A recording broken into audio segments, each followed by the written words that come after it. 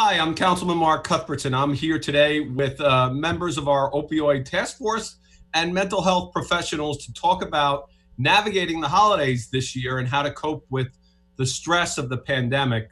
Um, it's especially important, I think, and we'll talk about this today, that during COVID 19, we recognize the connection between substance abuse and mental health issues. Um, isolating can be hard, homeschooling can be hard um, and we are out of our routines, and that certainly contributes um, to things.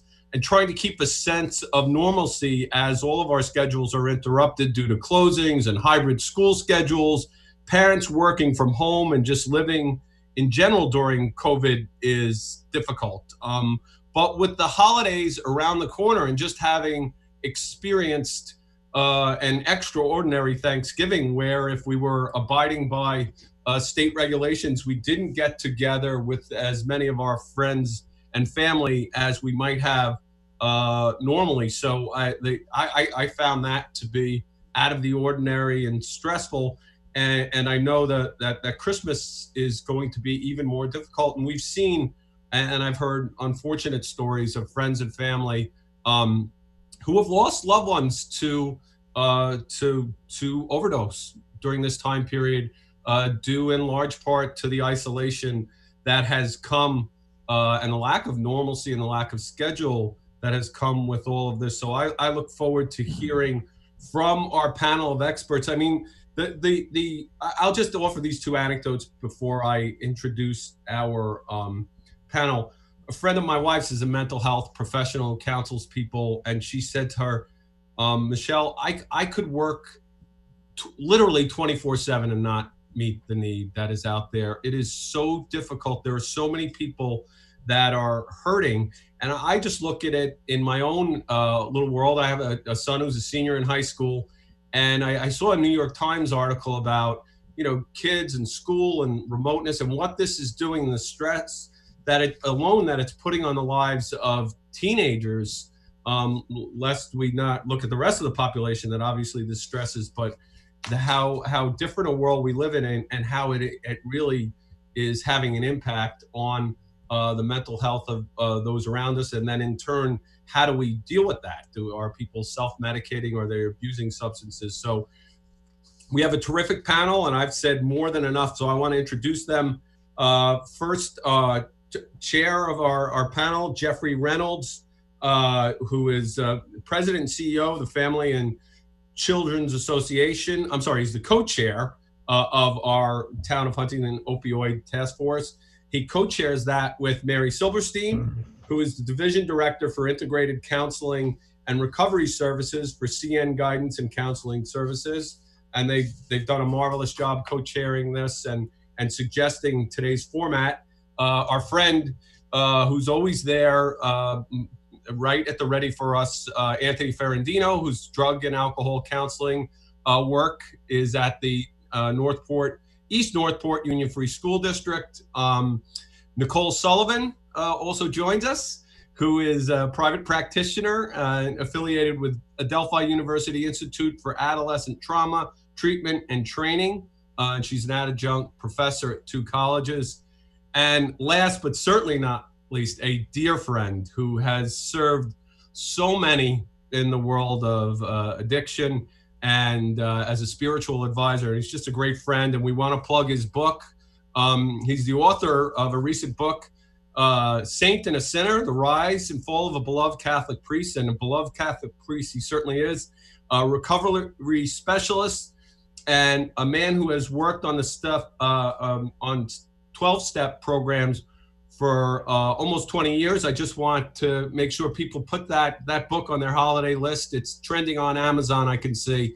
So we need to sell a lot more of those books. So let me kick it off with uh, Dr. Jeff Reynolds. Great. Thank you so much, Mark. Um, I appreciate the uh, intro. I'm sure Stephen appreciates the plug. I see he's got the book propped up behind him like every commentator does on the major networks. And so we've got this down. You know, look, we're hoping to have a, um, a very thoughtful conversation here today and give to give some folks some tips. you know, Mark, I do want to thank you and, and also to Michelle, your assistant, for, for helping us kind of launch this process and really supporting the task force from day one and having the vision to put the task force together. The task force came together pre COVID uh, in response to the opioid crisis impacting Long Island, and the town of Huntington was, was out in front of that. And so that served us well that we did those years worth of work up front. So now that as COVID happens and the overdose numbers increase, and we begin to see the mental health fallout associated with COVID, that we're in a position to respond and respond effectively. The goal of this today is really to give Town of Huntington residents a few ideas and thoughts and tips for how to manage the holiday season.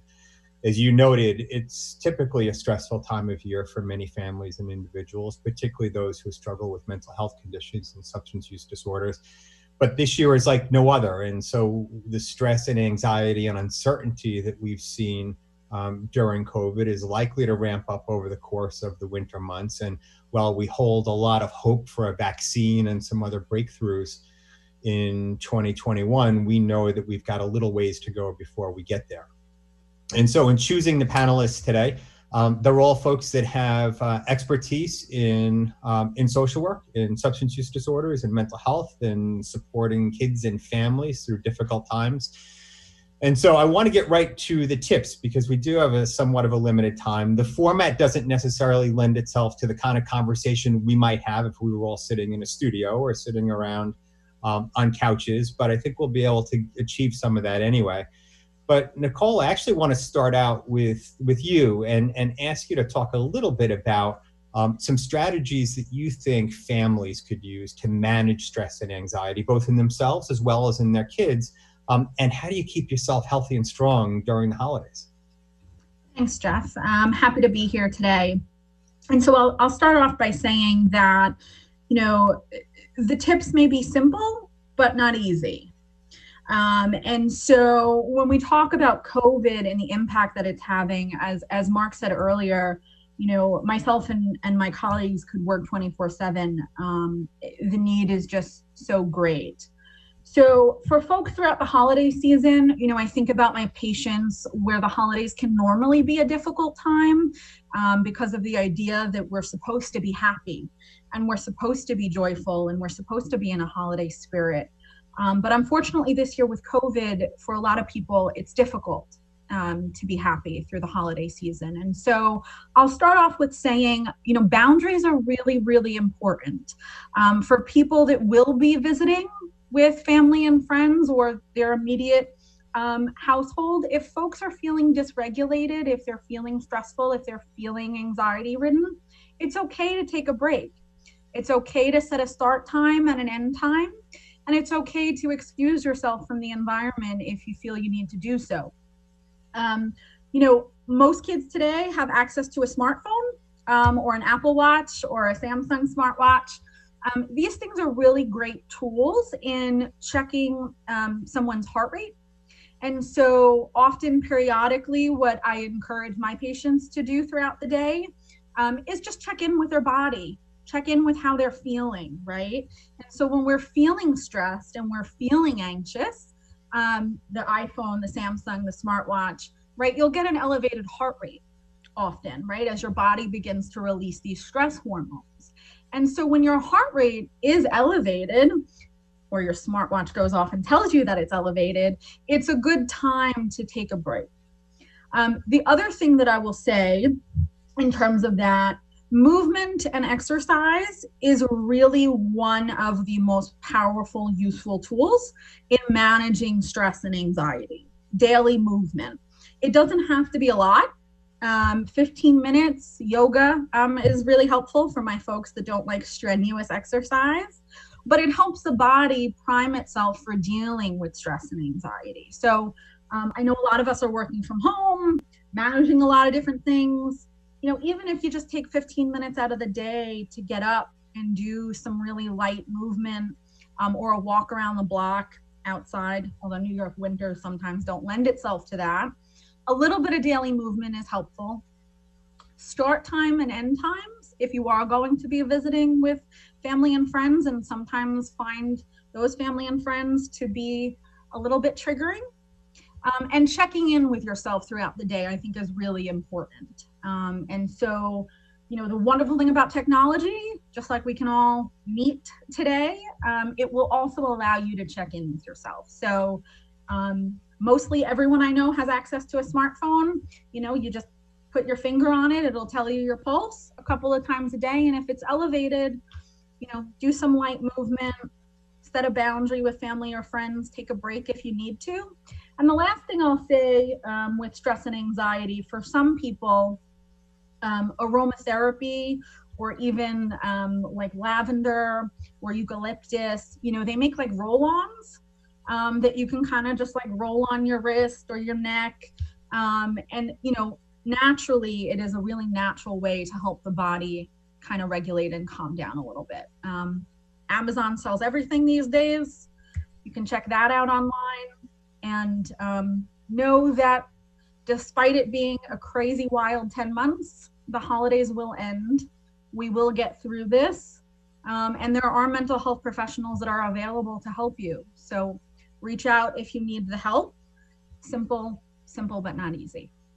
Awesome. You know, thank you, Nicole. You know, one of the things you you said, I liked everything you said, but especially the discussion about uh, phones and media and social media and that kind of thing. And you know, we're lucky to have Anthony with us today. And there's no one that loves social media more than young people. Um, and you know, we've talked a lot about the impact of of devices on the developing brain. But Anthony, you know, you work with kids every single day, and and in a school setting, which has become a blur between home and actually what's happening in, in classrooms. Can you talk a little bit about that and talk a little bit about how you know parents and kids can work together to reduce the overall stress and, and navigate really difficult times?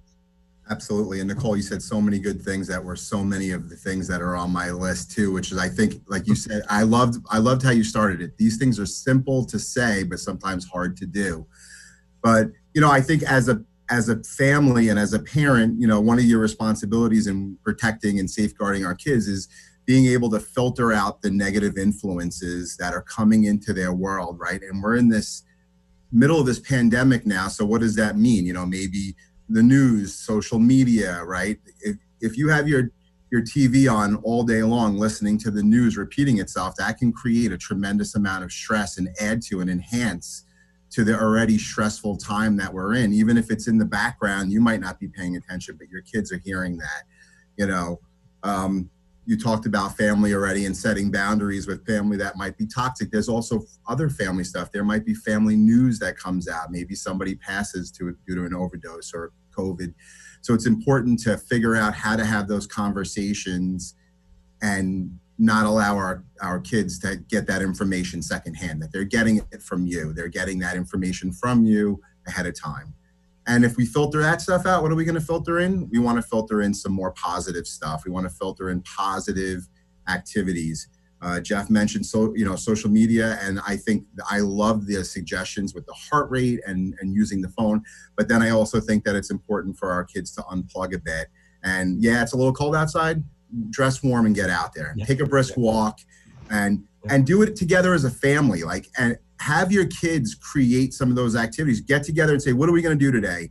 Let them pick some, you pick some, and you know work together to get through this season to reduce that stress. We always talk about self-care strategies. They could be very simple, right? It's a, uh, I say eat, sleep, uh, hydrate, and breathe. Those are the things that we need to live, right? So make sure your kids are having enough water. Make sure they're drinking enough water. Make sure they're getting enough nutritious food. Make sure they're getting adequate sleep. I think a lot of teenagers get more than adequate sleep a lot, a lot of my kids. And that would be the flip side of this make sure they're not in bed all day long and isolating right?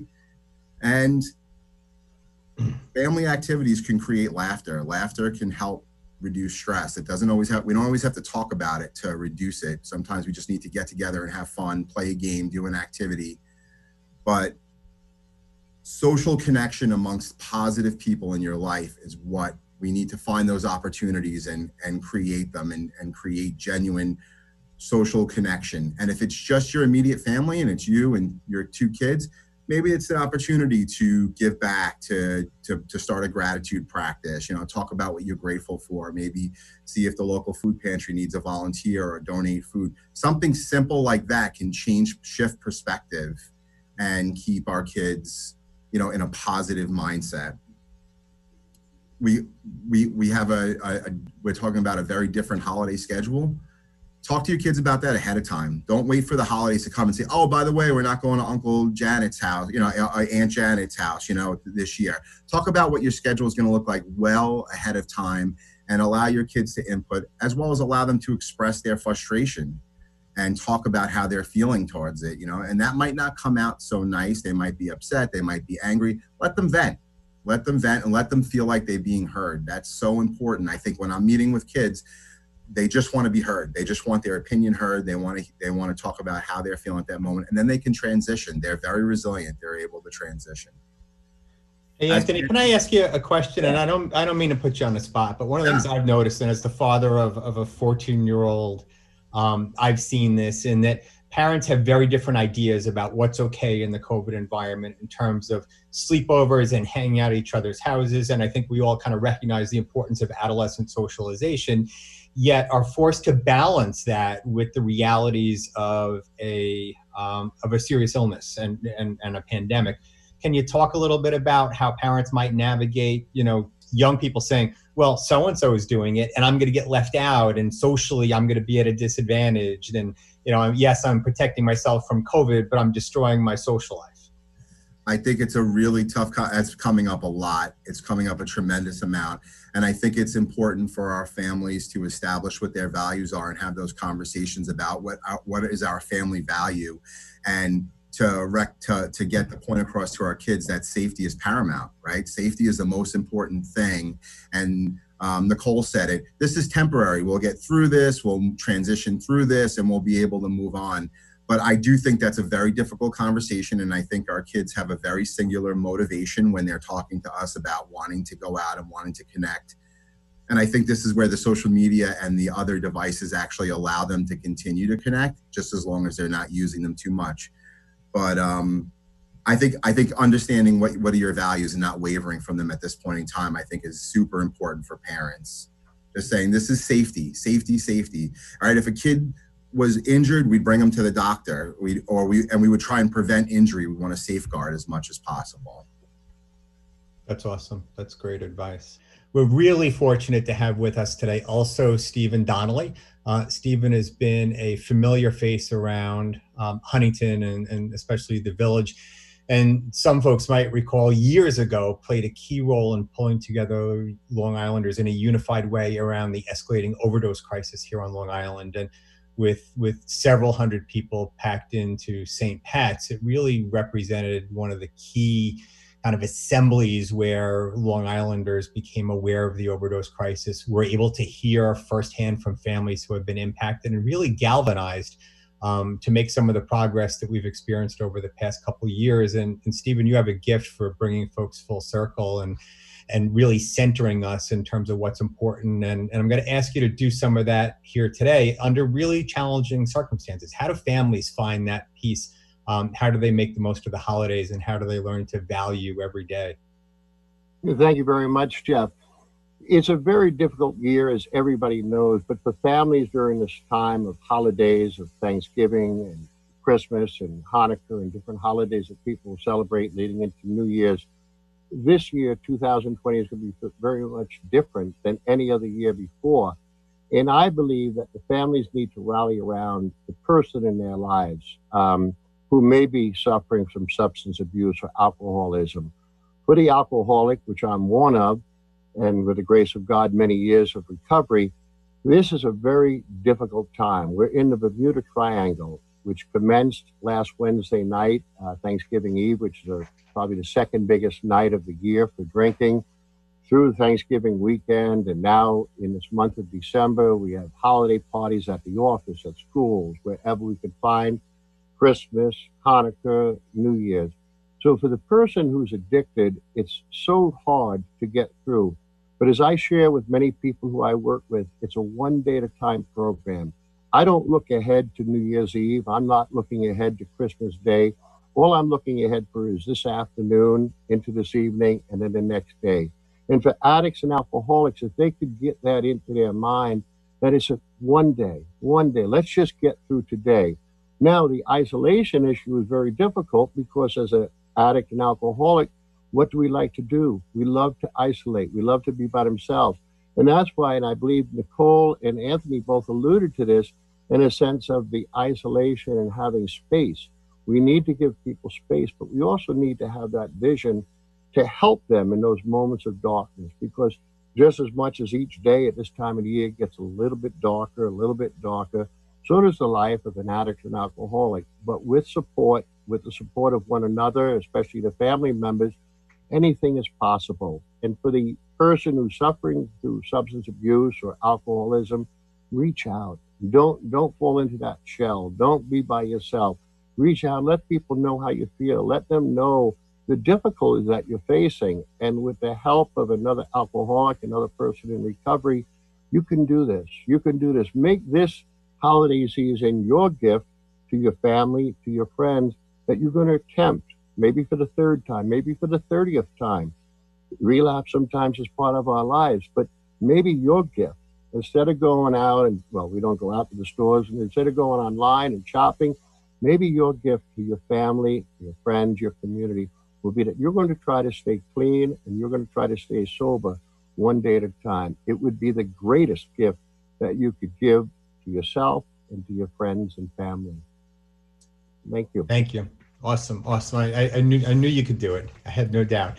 Um, I want to give before I turn it over to uh, my esteemed co-chair uh, to kind of take us out. I did want to give Anthony and Nicole a, a, chance to just say a couple other things. And, and building off some of your comments, Stephen, one of the things we know is that during times of anxiety and stress and uncertainty and, and around COVID, we know that there were very few essential services um, in New York State, but one of them was liquor stores. And with the advent of, of apps, you could actually have alcohol delivered to your home. And Whereas before you couldn't walk down the street with an open container, now you can pull your car up to a restaurant and get a 55 gallon drum worth of margaritas loaded into the, the trunk. And, you know, we've seen an increase in wine memes, particularly among moms on social media. And we know that generally alcohol use has increased among adults, which sends a message to kids. Um, you know, I guess my question for for both Anthony and and Nicole is is how do we begin to counter some of those messages as we head into the long term? Um, I think you know many families have alcohol as a part of holiday celebrations or have it around the house, and you know, can you talk a little bit about how we make sure that we're not sending double messages to our kids? I guess Anthony first, and then we'll go to Nicole. Oh, okay um, I think it's so important for our parents to act as role models and model the behavior that we want to see our kids do. So, you know, my, this is an opportunity now to model good coping skills or talk about, or at least maybe not reach for that for, for, for that bottle of wine or, or have a uh, wine Zoom party or whatever else with your friends and maybe um, tell you, you know, tell your kids you're going to start a yoga practice or maybe we're going to go out for a walk every day. And i think that's so important. And then connecting it to when i'm frustrated this is what i'm going to do in place of that now. So our kids realize okay when you're stressed you have a healthy coping mechanism. So role modeling is so important. Cool. Good advice. Nicole? And i think also piggybacking off of that um, giving children and adolescents the space to talk about things. Um, I'm a college professor, and so I have a lot of students. I do teach the addictions course. I have a lot of students who talk about, you know, my my parents say, "Don't do as I do, do as I say."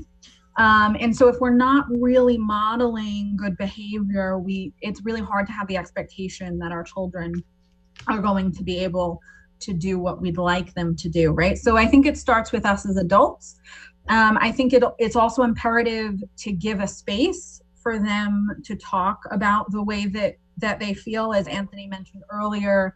You know, the feelings of feeling left out and um, the COVID isolation and trying to balance, as Jeff said, the socialization with with a really deadly pandemic. Um, but incorporating healthy coping skills as much as you can, modeling healthy behavior, and also knowing that sometimes people don't want to talk. Um, so a family game night, a family walk, um, if they tell you they don't want to talk about it, sometimes that's okay too. That doesn't mean we don't readdress it later, but it does mean that we respect their boundaries in those moments where they prefer not to engage. Awesome. Good, good. And I would say one last thing, um, just that if you think that your kid needs help, reach out and get help. And there's so many resources and don't don't hesitate on that one. You wouldn't hesitate if they had a fever to bring them to the doctor. Reach out and find a, a good therapist. A good, uh, Town of Huntington has tremendous resources for our youth. Uh, we use them all the time in the school here. They have awesome work people that work for for the town that that can help your kids. So please reach out.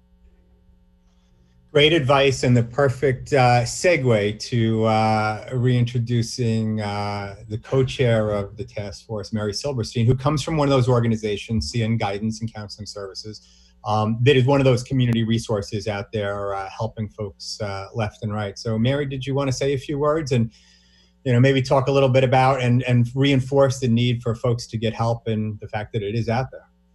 Yes, um, I think you all said it very beautifully and and really uh, stole my thunder in some ways, but that's okay.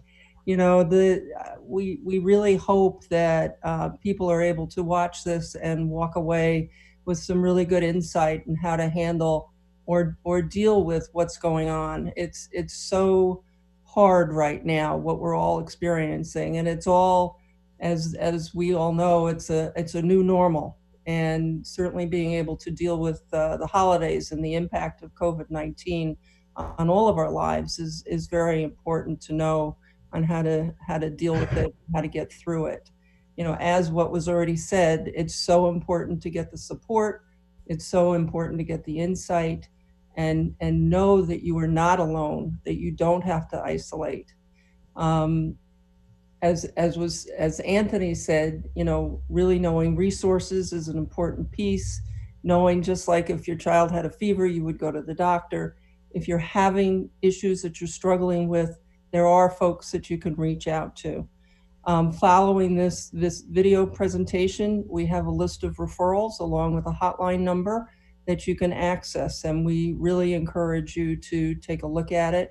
And and certainly, if you need any information, um, please, if the if the resource list is too much to kind of look at it as a whole, look at, le- at least at the hotline number and give that a call.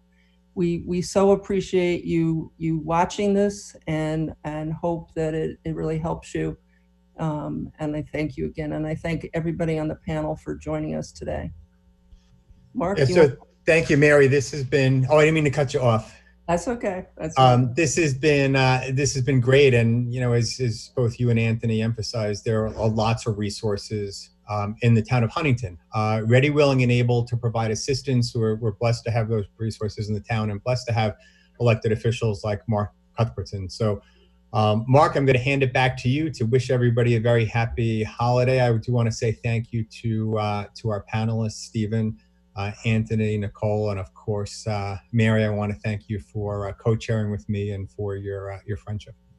Yeah, thank thank you all to the panelists and and a uh, happy and blessed holiday. I, I think just to take off what what Mary two points uh, as we close out. You know, it's still. I, I mean, we talk about it in your profession to destigmatize mental health issues is still so critical. So when you look around in in this pandemic, um, all the more important, all the more important around the holidays. That if if someone you know is is suffering, get them help let's do away with this stigma that has burdened us as a society for far too long. And Nicole, uh, Anthony, and all of you, Stephen, what great and simple tips. My son is working on his high school senior quote for the yearbook, and he his quote is going to be, "If fishing was easy, they'd call it catching." Right? And I think that's what the point was with your tips, Nicole, which is, you know, the, the tips can be simple but they're not easy. Stephen, the one day at a time, and Anthony, taking ourselves away from social media and all the things that we face, they're, they're simple, but they certainly are not easy. So maybe we can do some of that hard work and make a difference in our own lives and the lives of others. And I can't thank all of you enough for being a part of this. Uh, hopefully, we'll get it out to as many people as possible. We tried to keep it short and sweet. And I think that was part of uh, Jeff and and Mary's mission. So thank you all for for your all that you do in this wonderful program. Thank you. Thank you. Thank you.